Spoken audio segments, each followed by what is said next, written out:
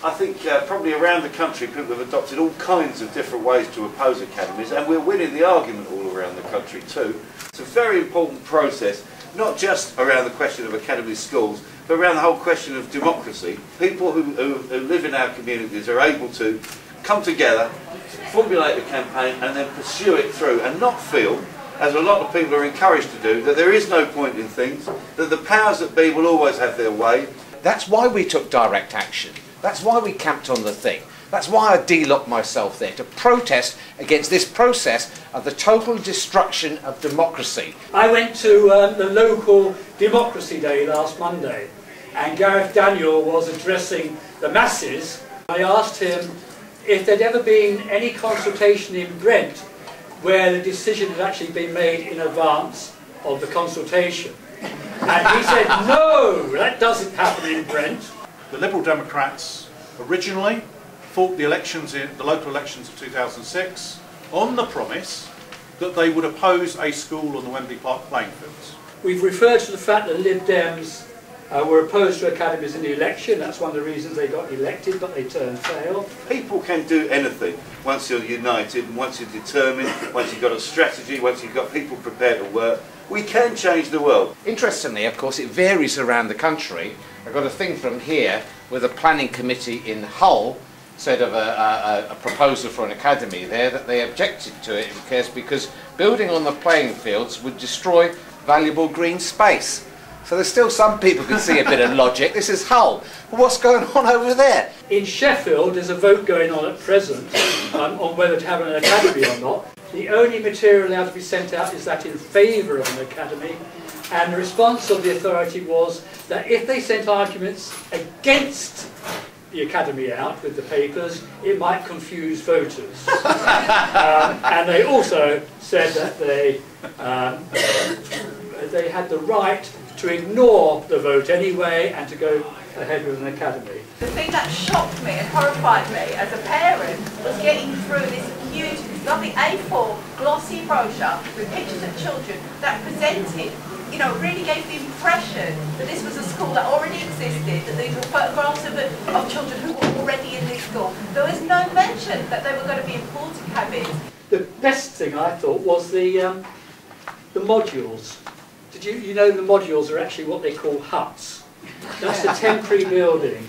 And here it is. But it's got a great big heap of earth in front of it, bare wood all around the sides, single story, not even prefabricated huts that the children have been educated in. The thing that disgusted me was that came in an envelope from the education department with a covering letter headed from the Education Department. I didn't get a glossy brochure delivered to my house from any of the schools. I'm not, bearing in mind I live about 100 yards away from a local school.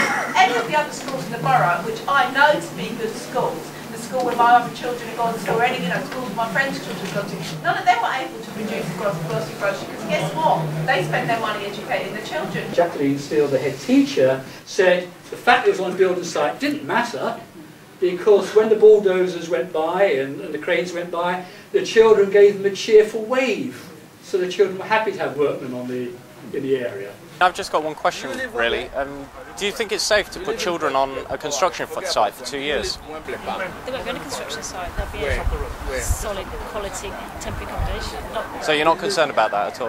There have been governing bodies who have decided, after listening to the arguments and seeing campaigns, have said that they don't want to be involved in academies in different parts of the country, where there are academy sponsors, so it's just not worth the bad publicity that it's generating for them. There is very good reason for you having bad publicity associated with your sponsorship of the Academy programme because the Academy programme is about the fragmentation and the destruction of the state education system. It is not a programme of educational advance, it's not a programme to do with educational standards. I remember, of course, the first proposed sponsor, in quotes, which is interesting, isn't it? Because they then gave two million. They don't give anything now, by the way. They just have to say that they'll give you some advice. Okay, so that's gone out. That's gone out the window. But that was Andrew Rosenfeld. What happened is he sold his shares in Minerva for a hundred million, and he went to live as a tax exile in Switzerland.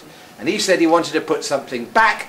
Actually, what he wanted to do is take everything out. And he was a great man of principle because he applied to be the Tory party national treasurer and then he gave a million pounds to get Blair elected in the last election. And it was, of course, complete coincidence, unrelated, that he was put forward for a peerage. The government have been consistently unable to show that an academy's programme has in any way um, improved results. In fact, out of their um, the schools that they uh, attacked recently as being failing schools, 28 of them were academy schools. The type of people we are getting to run our schools. Here's a good one. It was a front page in the news, of the world. Booker's bondage and drugs orgy, and it's um, Lord Laidlaw there, okay, and it says uh, he was having um, sex games with four girls, one gigolo, and a trilingual bisexual. Council's own survey. Who should be involved in running our schools? The local education authority, nearly 90%. Parents, 73%, as they are currently on governing bodies. Charities, only 38. Faith groups, 37. Private sponsors, 36. Arpad Busson says we've been invested with at least seven hedge funds and have made a return of 50% plus over the past year in the subprime market. That's his business. That's his business. Big hedge fund person making loads of money out of exploiting everyone else. It's going to be a good environment for stock stock pickers, macro strategies, mm. and, la and later in the year, distressed debt. This is an article at Christmas in the Times. He's looking forward to the market in distressed debt. So if you've got any problems with debt, it's really cheering him up because he's going to be able to make a load of money out of it. He also said, this is a fascinating one, people have taken severe knocks in the past year, redundancies are rising, credit is tough, inflation is back in our vital goods, and most of our backers, that's ARK's backers, are hedge fund managers who have been struggling, like everyone, to keep their heads up in the current financial turmoil. It is true that hedge funds now, like the bankers, and they were bigger, bigger money people than the bankers, are now facing going bust. They reckon, they estimate that half of them will go bust. So what are we doing? Putting this sort of person in, who's part of the people who've destroyed our economy, he says it himself, they were investing in the whole thing, subprimes, which caused the thing, and likely to go bust anyhow. Yet Brent Council, having already made one stupid decision with Andrew Rosenfeld, the person they said was a brilliant choice, okay, it was a complete con artist, Fortunately, had the grace to go off and uh, uh, live in Switzerland. I mean, he didn't want to pay any tax anyhow, but we're going to get some other people doing it. But there's a bit of good news. Lord Adonis has been shunted into the sidings in uh, as rail minister. That, that's, a, that's a very positive thing. He was the unelected Lord with a great impact um, on education policy under Blair and also under Brown. When he was advisor in number 10, before he became the schools minister, he took these journalists to Milwaukee to see their voucher system. Their voucher system works on the basis that parents get their share of the education budget and they can hand it over to get into their local state school.